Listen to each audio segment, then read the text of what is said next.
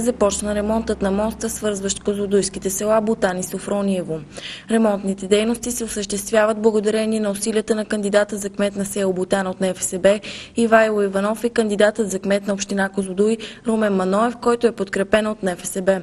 Ремонтът на този участък от междуселищния път е финансиран от Агенция Пътна инфраструктура и от лидера на Националния фронт за спасение на България Валери Симеонов, който за пореден път подпомогна финансово облагородяването на този регион.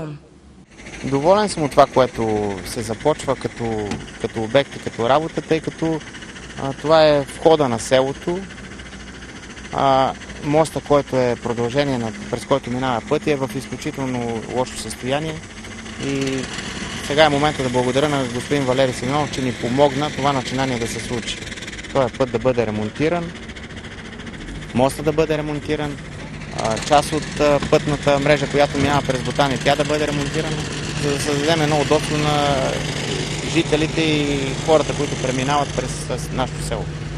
Това е радостно събитие за всеки един жител на община Козлодуй, защото хубаво е да има магистрали, но още по-хубаво е да може да се стигне до тях по някакъв нормален път. Колкото е възможно и по такъв начин да се спомогне прекратяването на лошите демографски процеси и обезлюдяването на района, така че местните млади хора да имат стимул да останат на тая територия и да не емигрират. Месеци наред двамата кандидат-кметове са полагали усилия за да се осъществи ремонта на този мост, именно защото той е от голямо значение за местните хора.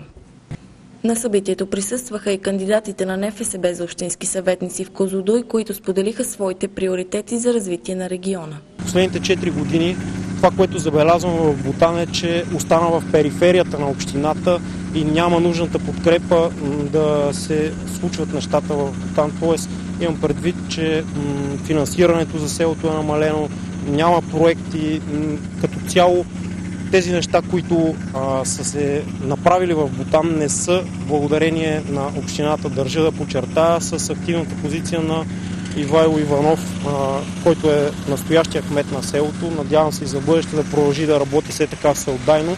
2016 още се сблъсках с а, доста закононарушения в общината, за което съм сигнализирал и компетентните органи.